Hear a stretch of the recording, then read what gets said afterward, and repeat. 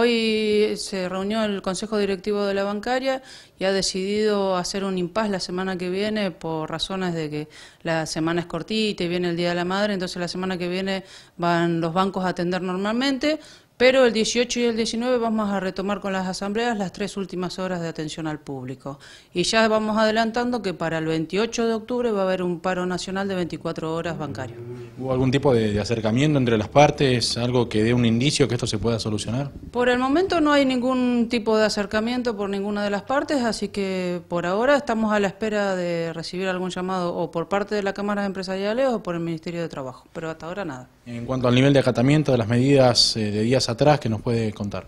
No, eh, eh, gracias a, los compañeros hemos tenido bastante acoplamiento de los chicos. Esta semana hemos mejorado la, de la semana pasada, hemos tenido bastante más aceptación por parte de, de, los bancarios y bueno, se están dando cuenta de a poquito que lo que estamos reclamando es muy importante para el bolsillo de, todos los bancarios. Bueno, todo esto en un contexto difícil que hoy se vive en la economía, seguramente esto se va a acentuar en el caso de no, tener mayores novedades. Y sí, seguramente se va a acentuar. Esperemos no tener que llegar a las tres horas de, de asamblea del día 18 y que todos podamos trabajar tranquilamente, pero bueno, vamos a ver si en el transcurso de estos días se puede avanzar algo sobre el tema. Y si no, el 28, paro nacional a 24 horas.